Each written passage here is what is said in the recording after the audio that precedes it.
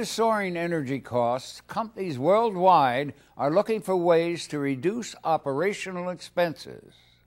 Larox Flowsys shows us how their peristaltic pumping technology is reducing operating and energy costs.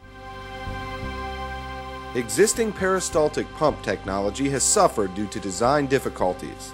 Pump size, high consumption rates, and decreased hose life make maintenance costly. New technology offers increased performance and a lower price tag. Hose pumps have numerous advantages compared to competing technologies. Uh, one of the greatest abilities of a hose pump is its ability to pump very heavy or viscous slurries. Um, and also, basically, if you can get it into the pump, this type of a pump can pump it.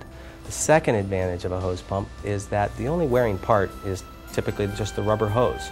So other types of pumps may have impellers or linings that have to be replaced on a periodic basis um, and are very costly and time consuming. Whereas with a hose pump, you just change the rubber hose and you're back in service almost immediately.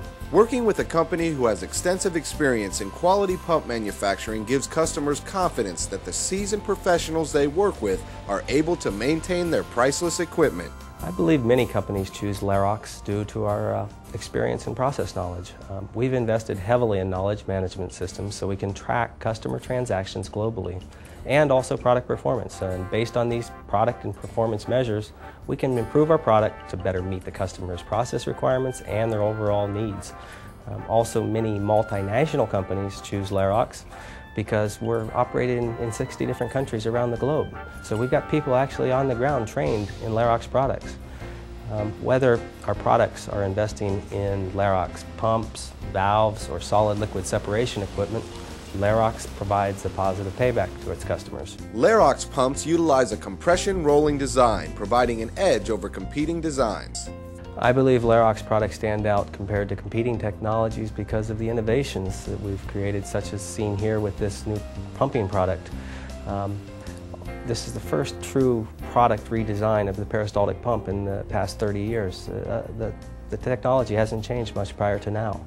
Um, I also believe that people, when they hear the Larox name, they typically associate it with quality.